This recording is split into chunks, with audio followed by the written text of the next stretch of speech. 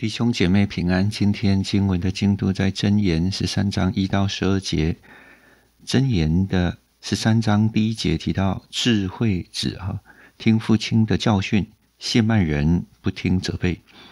十三节藐视训言的自取灭亡，敬畏诫命的必得善报。所以我们把它分作两个段落哈，一到十二节，十三到二十五节。那么一到十二节呢，嗯，原则上这个第一节它等于是一个引言了哈，提到要听教训。那二到六节呢，主要是谈听哪一方面的教训呢？是关于言语的教训。第七到十二节要听哪一部分的教训呢？是关于钱财的教训哈。那我们进到经文里面来，智慧子啊，就是智慧的、有智慧、聪明的孩子。听父亲的教训，一个真正敬畏神而有的智慧啊。我们说读真言书要得智慧，是知道哈，要懂得听权柄的教训跟教导。而谢曼人不听责备，那这里已经暗示这个谢曼人他已经犯错了，做错了，做错了。那么父亲代表一个慈爱的权柄来指正，仍然不听责备哈。那你就知道说他的错就会继续的错下去，在真言里面一直有这样的教导，各位弟兄姐妹，其实我们不能够让这些话对我们麻痹了哈。嗯，说实在，我们仔细的检视我们的生命，我们其实嗯不是很很愿意听教的，我们的内里常常会有很多的抗拒，因为人在教我们不好。求主帮助我们不要做谢曼人哈。那二到六节，我们讲是关于呃言语口舌哈，人因口所结的果子，必享美福。我们是不是智慧的孩子呢？我们应当听这个教训啊。人因口所结的果子，我们说出去的话是可以结出果实的。我看到有一些父母亲很有智慧，他们不断的用他们的口去肯定、去建造他们的孩子，所以他们的孩子啊。呃，生命就有自信啊，他们的孩子呢就被鼓励，所以在很多的地方上就有成就。所以这个人因口所结的果子，必享美福，使得听的人，比如说孩子啊，他得着这个美福，我们自己也得着美福。他在表达这个口哈，是有滋润人、建造人、成全人、帮助人的这个功能了。而奸诈人必遭强暴。这前面有稍微解释过，就是奸诈的人，他所说的话就是弯曲的、分裂的、毁谤的、纷争的、带来纷争的、欺哄的、谎言的哈。那最后这些会回到他自己的身上，他去挑拨离间，或者他去欺骗，最终这个恶果，前面讲的是美好的果子，他会让自己品尝到。这里提到的是这个邪恶败坏的果子哈。也会回到自己的身上。奸诈人必遭强暴，紧守口的得保生命，大张嘴的必致败亡。前面讲我们要用口去建造、去祝福、去帮助人、去成全。可是这里呢，也提到另外一个情况，要谨守口，就是谨言慎行，得保生命。大张嘴呢，它就是。多言多语，那你可以理解哈，嗯，就说一个有智慧的人，他知道在什么时候应当讲话，什么时候应当要闭嘴。前面其实有提到一些情况嘛，什么时候艺人应当闭嘴呢？就是在我们圣经里面提到，生气却不要犯罪啊，嗯，在我们情绪受激动或者我们受委屈和受辱、受伤的时候。我们要保守我们的口，不要去攻击别人，因为我们的口会结出果子来。你要结出的是滋润人生命的果子，还是结出来咒诅、伤害人、破坏的果子？最终这些果子我们自己都要品尝。呃，所以有时候我们要去建造，但有时候我们要闭口不讲，不要去结出恶的果子。可是恶人呢，他大张嘴，他就到处的去败坏别人，或者是纷争。到处说人家的八卦闲话，那么最终他自己要败亡。第四节很特别啊，前面不都在讲口吗？第四节怎么会突然穿插了懒惰跟殷勤？懒惰人羡慕，羡慕就是他的渴望却无所得。懒惰人他所渴望要抓取的，最后会失去嘛？哈，无所得。最终，纵使他在世上好像他有，但是在永恒当中，他一定没有办法得着这些的。他不仅失去他抓取的，也要失去他的生命，无所得。殷勤人必得丰裕，殷勤的人他却可以得着极大的丰盛和丰裕。前面在讲口舌，突然间第四节在讲懒惰和殷勤，呃，所以我们一开始读的时候不太懂他要说什么。可我们看到第五节，他又回到什么呢？而言语的这个口舌，哈，一人恨恶谎言。恶人有臭名，且自惭愧。哦，那我们就明白了。其实我们过往哈对真言的印象就是，它好像每一节都是独立的，也是可以这样读。它每一节基本上都给我们一些智慧的引导嘛。但是它其实是经过很多当时候写作或者编辑的人，他们刻意的花心思的编辑的哈，在学者的研究里面发现他们的音韵也好。他们的字词也好，在原文的这个排列也好，或者他们当时候文学的呈现方式也好，其实这样的编排啊是有他刻意的目的。所以显然在这里第四节啊，嗯，没有错啊，这里懒惰英杰我们会想到的是工作，可是在这里作者他可能更要强调的是要殷勤的用口结出美善的果子。对下面来讲是什么呢？要殷勤的。第六节哈，行为正直。我们先来解释第五节、第六节哈。一人恨恶谎言，和一个有智慧的人，一个公义的人，他会恨恶说谎，他也恨恶别人说谎，就是恨恶谎言。他盼望都是真实的哈，都是诚实的。那恶人有臭名，且自惭愧。这里指的是什么呢？恶人他说谎，被揭发了。被揭穿了，所以他有恶名嘛，且自惭愧。他的谎言被揭穿了，他就羞羞惭惭的哈。那行为正直的有公义保守，行为正直的就是第五节这里说，一人恨恶谎言哈。呃，真言的作者在他的脑袋里面，当我们的心偏邪的乖僻的时候，我们的口就会说出谎言，我们的行为也不会公正，不会正直嘛，所以。第六节跟第五节是互相补充的。艺人会恨恶谎言，所以他的行为他一定是正直的，就会有公义来保守他。公义就好像是一个盾牌嘛，我们有公义正直的行为，就没有人来指控我们，所以我们就立得稳，就被保守。那恶人有臭名，我们说他的谎言被揭穿了，所以叫惭愧。他被揭穿了，所以犯罪的被邪恶情妇了。他自己说谎，然后被揭穿，他就得了臭名，大家就对他有一些负面的评价嘛，所以他就被自己的邪恶给倾覆了。所以我们看到这一段呢，就说要成为智慧的孩子，智慧之子，要听父亲的教训，要怎么做呢？要殷勤的说恩慈的话，要殷勤的用口去结果子，要殷勤的做正直的事哈。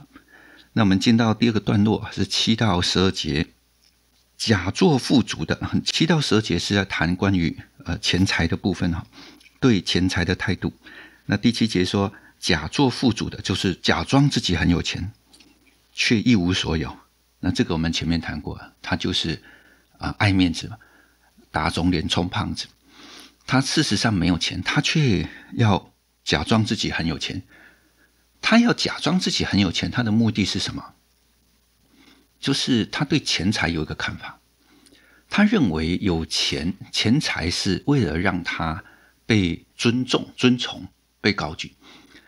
事实上，在我们所处的这个环境世界，我们也会看到，我们对一个人的评价，就说这个人他重不重要，有没有价值，尊不尊贵，在于他的消费能力嘛？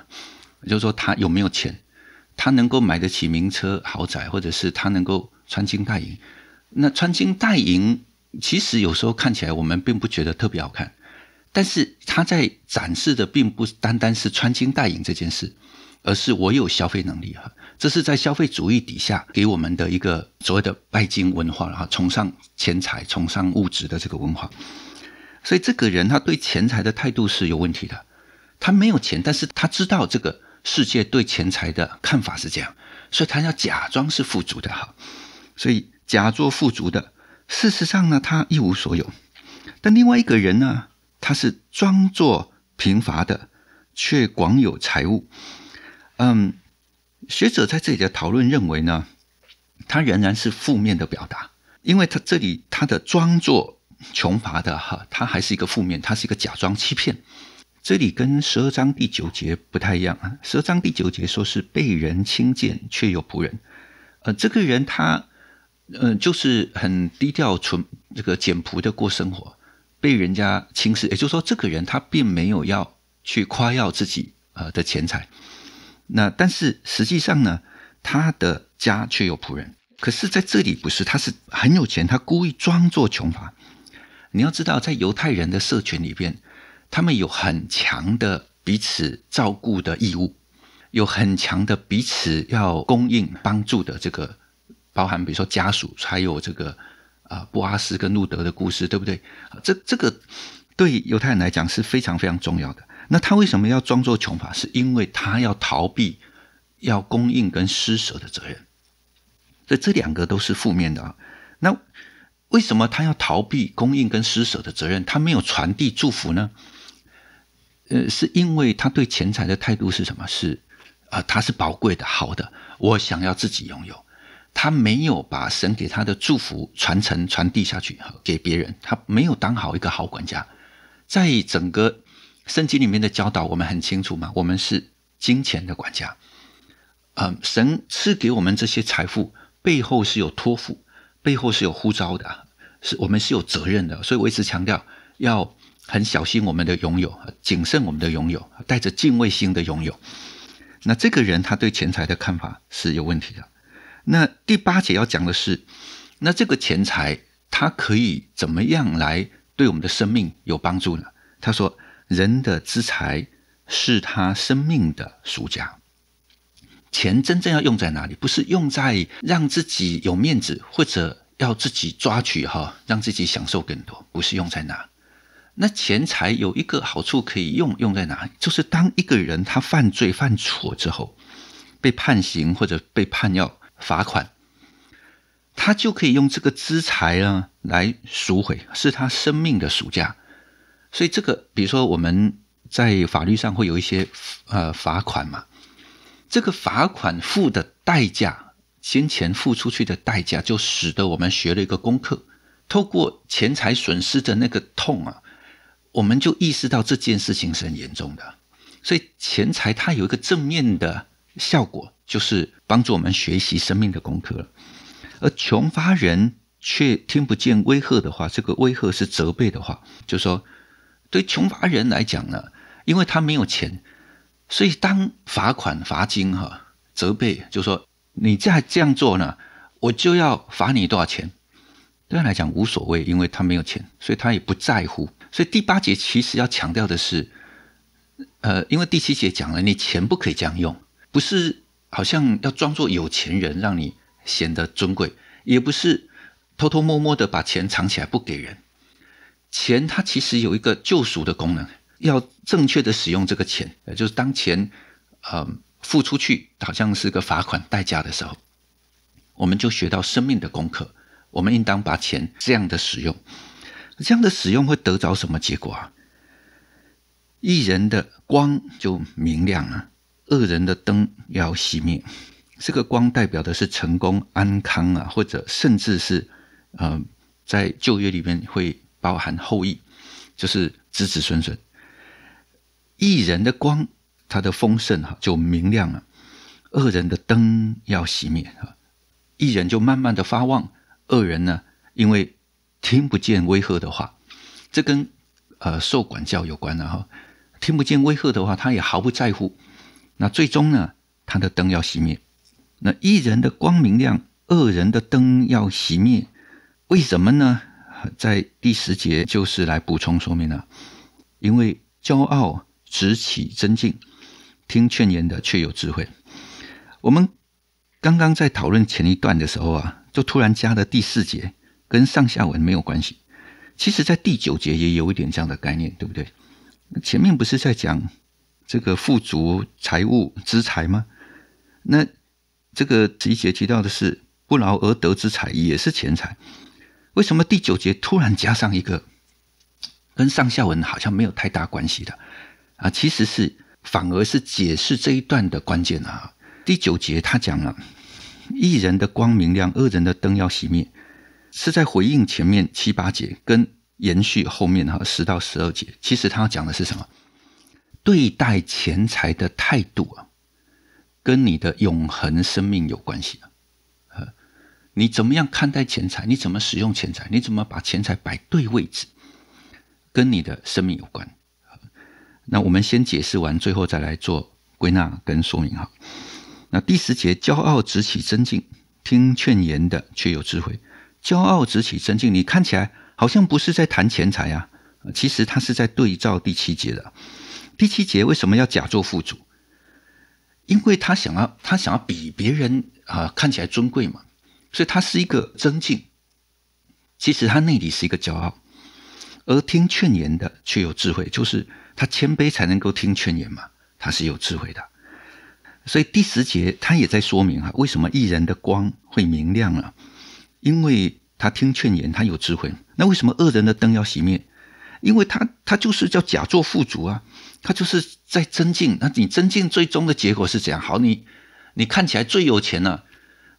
那又怎么样？其实你是假的嘛，所以你当然你的灯要熄灭嘛。你你这样弄，你不脚踏实地的工作赚取，你只是好面子，那你最终当然要熄灭了。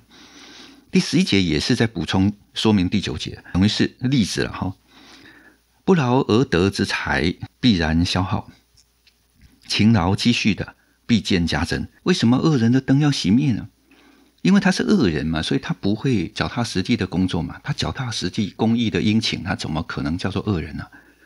他是恶人，所以他一定要得什么不劳而得之财嘛。他要投投机啊，他要骗取啊。那你你骗取的必然消耗。呃，我解释过嘛。如果你的孩子知道你说的钱都是骗来的，都是不公益赚取的，而你还致富了，还成功了，你的孩子会好好的工作吗？不会啊。那你你成功这个好像偷偷摸摸的哈，让你侥幸，好像你可以抓取你的孩子可以吗？那一定会失败，最终这个家庭一定会熄灭的。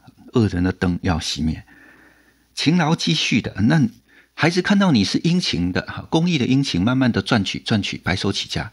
那孩子也是简朴殷勤，他知道殷勤的重要，他也会跟着好好的殷勤，所以。一人的光会持续的明亮了。十二节所盼望的迟延未得，令人心忧。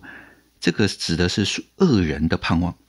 恶人所盼望的迟延未得，这个迟延未得不是说等久一点就会得到，而是你一直等，一直等，一直等哈，无穷尽的等都不会得到的，令人心忧。就是他的心一直在那里等着，立刻发财，立刻致富。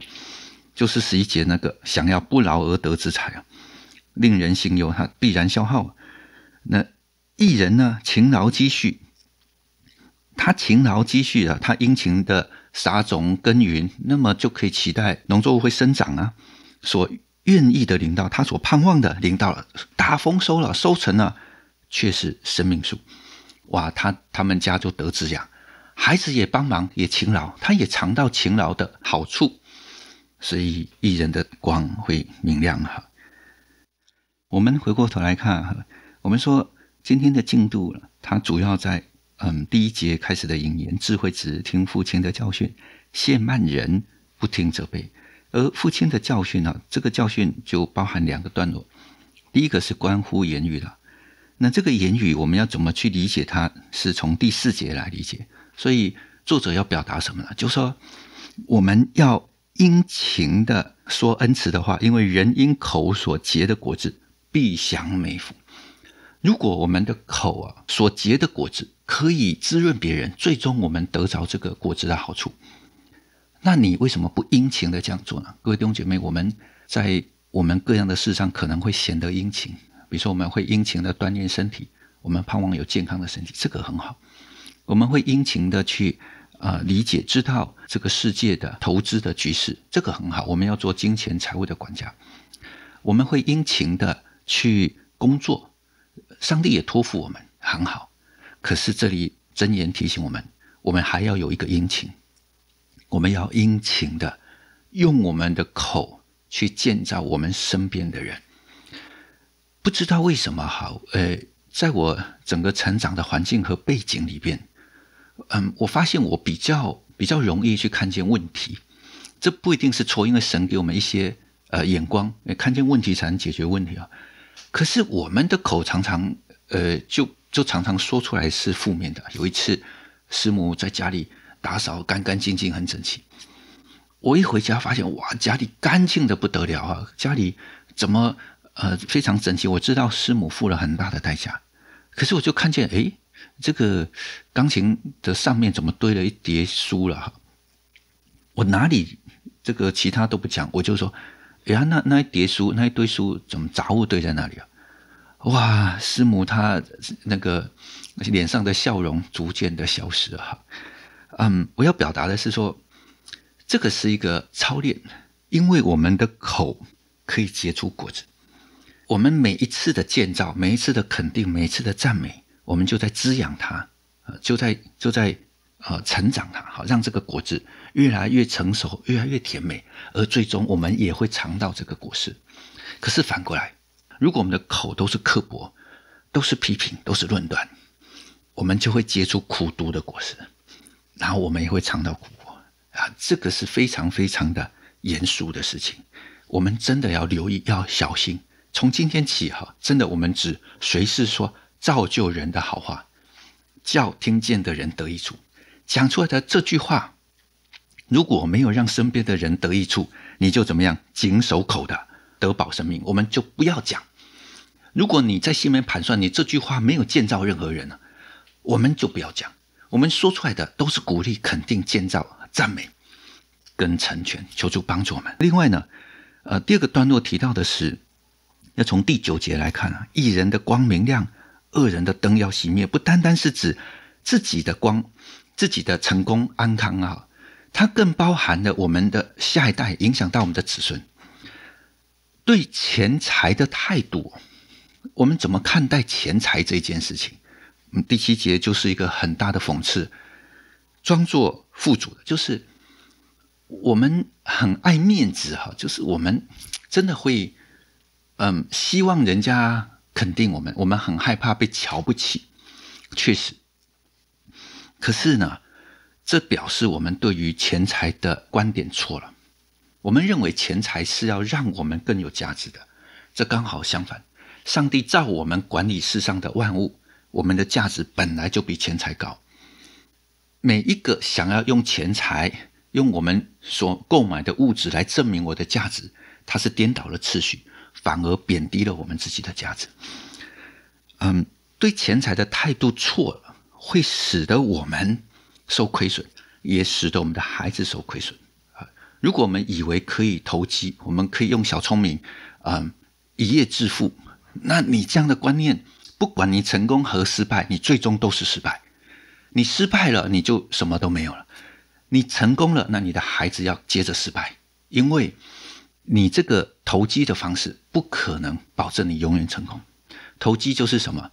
就是我用不正当的方式，或者是亏损别人的方式，让我呃发财嘛。我为什么赌博赢？表示别人输啊。我用亏损别人呃的方式，让我自己赚钱。